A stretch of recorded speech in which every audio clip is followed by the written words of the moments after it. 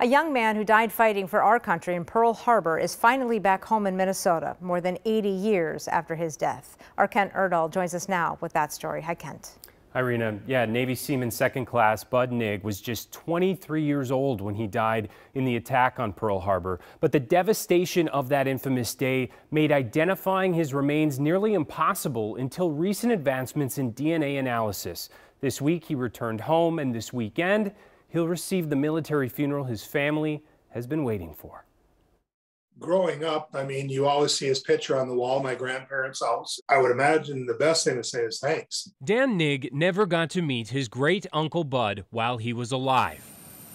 But he made sure to welcome him home late Wednesday night, 81 years after his death. It's kind of unreal. I mean, to go through this after all these years. Budd enlisted in the Navy in 1940 alongside three of his cousins. They were all in Pearl Harbor aboard the USS Oklahoma on December 7, 1941. But while the cousins all narrowly escaped before the torpedoes hit, Budd did not. His cousin Robert was helping the priest set up for Mass when the attack happened, and he seen Budd on a gun firing at a zero and then when he came back by, he laid there deceased. He had been hit with some shells from the plane. For eight decades, a grim telegram announcing his death was all that returned home until a notice last year that DNA forensics had finally identified his remains, leading to the flight a family and entire community had been waiting for.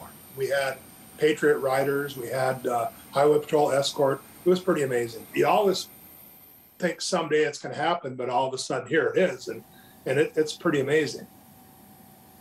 The funeral for Budd Nigg will be held at 11 a.m. tomorrow at St. Anthony Catholic Church in Browns Valley. He will then be buried with full military honors. The family says the public is welcomed and encouraged to attend as a show of thanks for his service. Rena. Ken, what an incredible story. And it just, I, am just love that there's so many of these people that the next generation, they've never even met and they care so much about getting that family member back here and getting them properly buried.